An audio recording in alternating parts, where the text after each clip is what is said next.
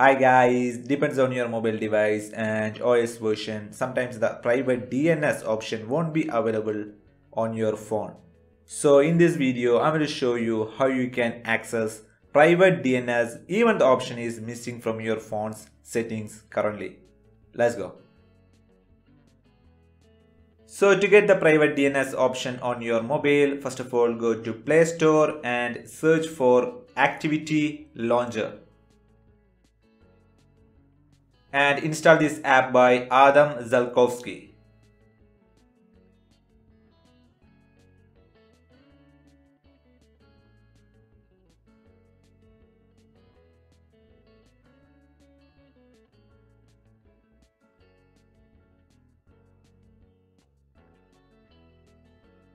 After the installation, open the app,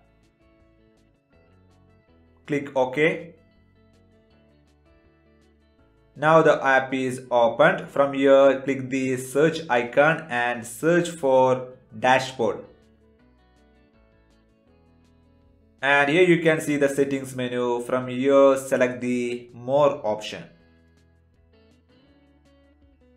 And in the menu option, you can see the private DNS option. So simply click on it and select private DNS provider hostname and here you can type any private DNS after that simply click save.